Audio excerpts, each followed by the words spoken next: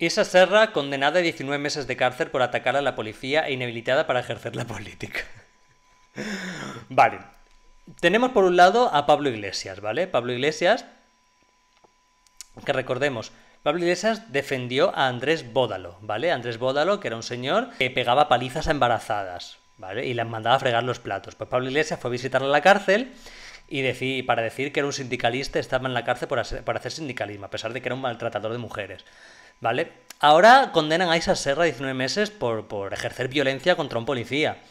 Pero Pablo Iglesias dice que tenemos que condenar la violencia. Mientras tiene a gentuza asquerosa como la revienta cajeros, mm, eh, condenada por patear policías, ¿no? O defiende a maltratadores de mujeres como Andrés Bódalo. O recordemos a la asesina de Podemos, ¿no? ¿Acordás de...? Vamos a buscarla. Es que recordemos que eh, Podemos tenía a una asesina de candidata de Podemos, ¿vale? O sea, la, indigencia mental de Podemos llegó hasta el punto ya no de, ya no de defender a maltratadores, agresores, em, etcétera, etcétera. Ya, ya defienden a asesinos. Una candidata asesina. Y luego resulta que eh, Tony Cantón no se puede presentar a las elecciones, pero una asesina sí, ¿vale? Entonces, eh, claro, que un señor como Pablo Iglesias eh, nos diga y se levante todo indignado de un plató diciendo yo me voy porque aquí no se puede consentir que no se condene la violencia, etc. Mientras has defendido a una asesina, mientras has defendido a un maltratador de mujeres, mientras han defendido a un tío que, a una tía que ejerce violencia contra la policía, oye, pues no me da la gana de condenar tus putas balas. Es que es así, yo no voy a condenar las balas que le han mandado a Pablo Iglesias, aunque fueran verdad. No lo voy a condenar. No me sale de los cojones. Es que Pablo Iglesias es un infraser, como la cadena en la que ha estado, que desde que ha llegado a, la política de España, lo único que ha hecho es sembrar odio y división. Pablo Iglesias lo único que está haciendo es recoger, y defienda a ETA también, por cierto, Pablo Iglesias lo único que ha hecho es eh, sembrar odio y división entre los españoles. Este país era mucho mejor antes de la llegada de Pedro Sánchez y Pablo Iglesias. No, hay que olvidar que el, principal problema, ante todo, es Pedro Sánchez, ¿vale? Pero cuando llegó este señor, eh, Pablo Iglesias, se dedicó a, infundir odio a la sociedad. Acordaos de eh, los de abajo contra los de arriba, los pobres contra los ricos, el scratch es el jarabe democrático, el me emociona que apalen a policías, defiendo a asesinos. O sea, ese señor lleva siete años sembrando odio. Y ahora le devuelven ese odio y tenemos que condenarlo. Mira, esto para ti, coletas. O sea, no pienso condenar todo, nada de lo que te hagan. O sea, e, es odio que has infundido a la sociedad y que te están devolviendo. Bueno, en caso de que fuera verdad, claro. Pero ya está, o sea, es eh, un, señor, em, bueno, señor, no, puedo llamarle ni señor, una porquería como este tío, o sea, ¿qué, coño voy a defender yo a eso? O sea, que voy a condenar yo nada. Si tú, tú, te has dedicado a alentar la violencia en este país. Tú condenaste, bueno, sí, el, puñetazo a Rajoy sí lo condenaste, eso sí me acuerdo. Pero vamos, estoy seguro que estabas contentísimo de, que ocurriera. Porque eso era de los tuyos. El que le pegó el puñetazo a Rajoy era de los tuyos. Aunque decían que era sobrino de Rajoy, vamos, el sobrino de Rajoy no es garantía de ser de derechas también. A ver si no nos queda claro. Pero lo que le pasó a Rajoy, por ejemplo, ese puñetazo, eso fue consecuencia del odio que estaba sembrando Pablo Iglesias. Y eso le llega a pasar a Pablo Iglesias. ¿Vosotros imaginaos que alguien le pega un puñetazo por la calle a Pablo Iglesias? Imaginad lo que se monta en este país si alguien le pega un puñetazo a Pablo Iglesias por la calle. O sea, en este país tenemos una guerra civil al día siguiente. Sin embargo, le, le pegaron un puñetazo al puto presidente del gobierno y no pasó absolutamente nada. Ya está.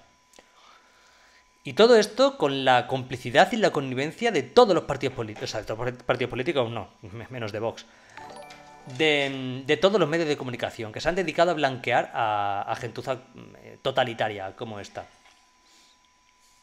Yo de verdad que no sé qué tiene que pasar ya en este país, porque claro, es que no te puedes fiar de las elecciones, no te puedes fiar de, de los medios de comunicación, no te puedes fiar de los partidos, no te puedes fiar de nadie. ¿Qué haces? ¿Qué hacemos en este país para librarnos ya de esta cochambre? Es que el Partido Socialista lleva, lleva sembrando mierda 140 años. Yo siempre lo he dicho, que el problema no es Podemos, el problema no es Pablo Iglesias. Pablo Iglesias un tipejo eh, nauseabundo que no existiría si, si, no existiera, si no existiera el PSOE.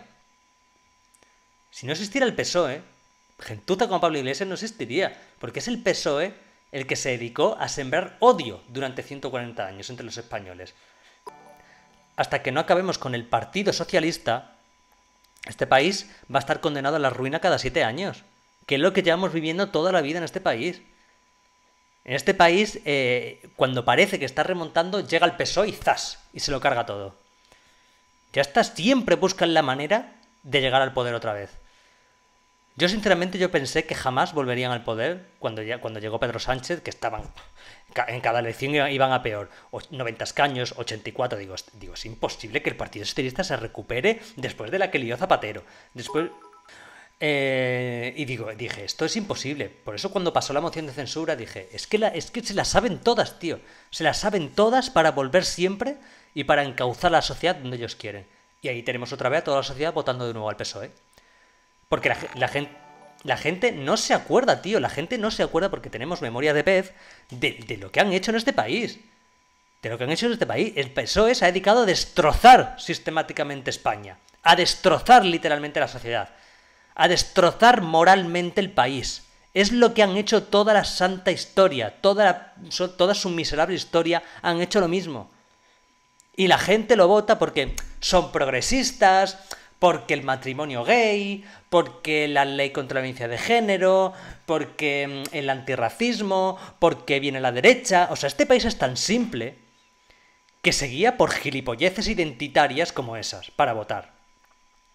Hasta que les falta el dinero en el bolsillo. Ahí ya se acuerdan de la derecha.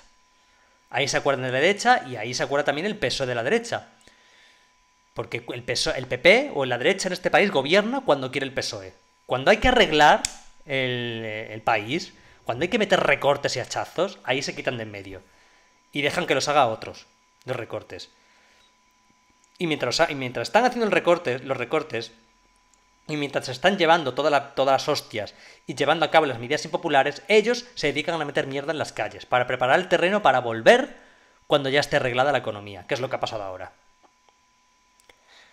Pero claro, esta vez han vuelto cuando ya estaba arreglada la cosa, pero no contaban con la pandemia, evidentemente. Y como no contaban con, la pandemia, ¿qué les ha quedado ahora? Es la primera vez que el PSOE se enfrenta a una crisis, ¿eh? La primera vez, porque siempre, la otra vez, cada vez que llega una crisis, salen por patas. Y esta vez se están enfrentando. ¿Y cuál es la única forma que tienen de hacerlo? Implantando un Estado totalitario y dictatorial, que es lo que están haciendo controlando todas las instituciones, controlando los jueces, controlando la propaganda, controlando los medios de comunicación, controlando la sociedad, metiendo miedo, encerrando a la gente en casa, alentando un miedo, un fascismo que no existe. A eso se están dedicando. Yo espero, de verdad, espero que el 4M no pase nada. No pase nada y haya unas elecciones normales y gane quien tiene que ganar, que es evidentemente la derecha, porque yo lo he dicho muchas veces, que en Madrid la única forma que tiene eh, la izquierda de ganar es mediante un pucherazo. Si vosotros, si vivierais en Madrid, sabríais el ambiente que hay aquí. Y aquí no quiere nadie a la izquierda. Bueno, que los cuatro frikis y los cuatro ideologizados, ¿sabes? Pero aquí, Ayuso reventando plazas. Eh, monasterio, lo de monasterio es una cosa espectacular. Cualquier sitio que va en Monasterio Bascal, revientan las calles. Y a los mítines de, de, de Gabilondo van cuatro. Eh, Podemos estar haciendo los mítines en terrazas porque no va nadie. Es que a Gabilondo se le está poniendo cara de Joe Biden, tío. Es que es lo mismo. Donald Trump reventaba las calles y los estadios. A Joe Biden no iba nadie. Es que de verdad, si vosotros hubierais seguido la campaña de Joe Biden en Estados Unidos, a, los mítines de Joe Biden, es que no iba nadie. Y él ponía la excusa de que no estaban respetando los aforos por la pandemia. era mentira. Es que no iba nadie a, los, a los mítines de, de, Joe Biden. ¿Y qué pasó al final? Pues pasó lo que todo el mundo sabe, no lo voy a decir aquí, pero pasó todo lo que todo el mundo sabe. Pues aquí es que me da que va a pasar exactamente lo mismo. Es que tiene pinta de estar pasando exactamente lo mismo.